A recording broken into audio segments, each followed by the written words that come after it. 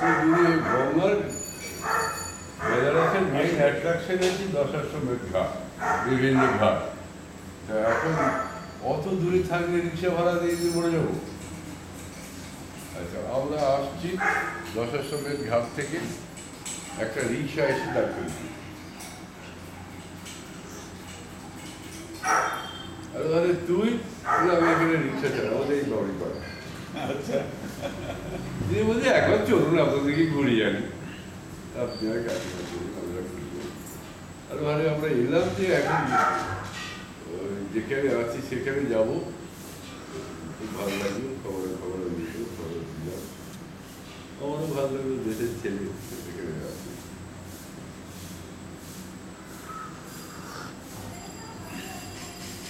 Camera কই রে? কি তুলছিস?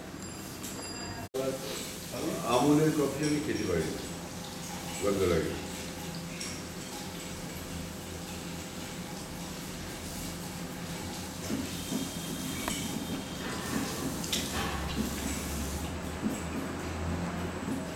আমাদের ইয়েতে ঋষিকেশের মেন আকর্ষণ ছিল হচ্ছে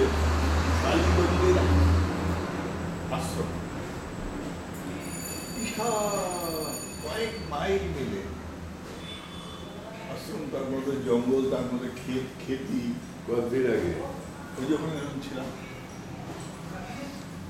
তার মধ্যে জঙ্গল তার মধ্যে খেতি। খেতি জঙ্গল তারপর তো মাঝে মাঝে আবার বন্য হাতিও চলে আসতো জঙ্গলের গঙ্গার ওপারে? এই পারে। এপারে? এপারে তো আমরা গাড়ি কমলি ঋষিকেশে। আর একটা কালী কমলি আছে গঙ্গার ওপারে রামঝোলায় কালীগঞ্জের অনেক অনেক অনেক। হ্যাঁ রামঝোলায় আছে। হ্যাঁ। যে আমাদেরকে কলকাতায় বলল যে আপনি রামঝোলায় যাবেন সন্ধ্যার পর তো ফাঁকা। কিছুই না। কিন্তু ওখানে যদি কেউ নিরিবিলি গঙ্গার ধারে বসে চায় তাহলে রামঝোলার আশ্রমটা খুব ফাঁকা আর ওখানে তোমার পরে ফ্রিজ দেবে গ্যাস দেবে তুমি রান্না করে খেতে পারো। ব্যবস্থা করি ব্যবস্থা ওখানে আমরা যে আশ্রমে ছিলাম সেখানে air condition room plus geyser দেওয়ার রুম সবই আছে। কোথায়? শিখেছে? না হরিদ্বার কারিকন্দি বিরাট।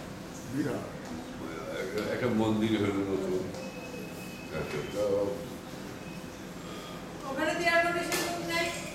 আমরা তো না ওই হরিদ্বার আমরা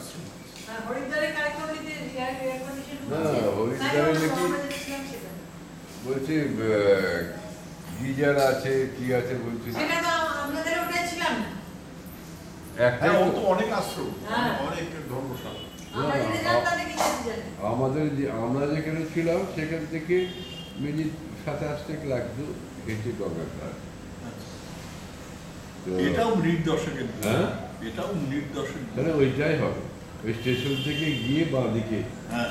হ্যাঁ আচ্ছা ঢুকেই উঁচু এতে ওরা সব তাকিয়া নিয়ে বসে আছে। তো আমরা ওইটাতেই ছিলাম। তাই ওইটা তুই খেয়াল করিসনি দোতলার এক লাইন করে অনেক কটা এসি রুম আছে। আচ্ছা তারপর এদের আমরা ওখানে আলুর পরোটা দিয়ে ব্রেকফাস্ট রেস্টুরেন্টে আর আমাদের খাবার ওখান থেকে দিত ওদের ক্যান্টিন আছে। আগে থেকেই বলে দিত ও আমাদের আর আমার আর পুরো লাগতো যেদিন তবাল আসতো সেদিন বলে দিত আবার আরেকটা এক্সট্রা খাবার। খুব সুন্দর। খুব সুন্দর। আর ওই ছোঁড়াগুলো সবাই চিনে গিয়েছিল আমাদের। খুব খাতির করতো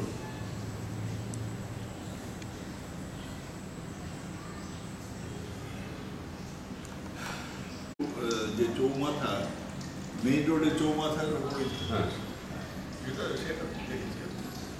যেটা ঋষিকেশের যে মানে ইয়ে তো এখানে হলো কি, ইয়ের মধ্যে প্রচুর সাধুর কুঠিয়া এই ঋষিকেশে। প্রচুর সাধুর কুঠিয়া কুঠিয়া বলে আগের মতো কুঠিয়া নয়। এখন যে কুঠিয়াগুলো বানিয়ে দিয়েছে এরা মানে সাধুদের থাকা খাওয়া একেবারে সব তো ফ্রি একটা গোশালা আছে, গোশালায় দুধ, প্রত্যেক সাধুকে আছে করে দুধ দেয়। হ্যাঁ। ওষুধপত্র, এটা এগুলো তো সব ফ্রি আছে। তারপরে তোর ওখানে বিরাট সবজি বাজার মাইলের পর মাইল, বুঝলি? কত এরিয়া আর আর একটু পূর্ব দিকে গেলেই তো গঙ্গা গঙ্গা। তাহলে কি মাইলের পর মাইল হবে কি করে?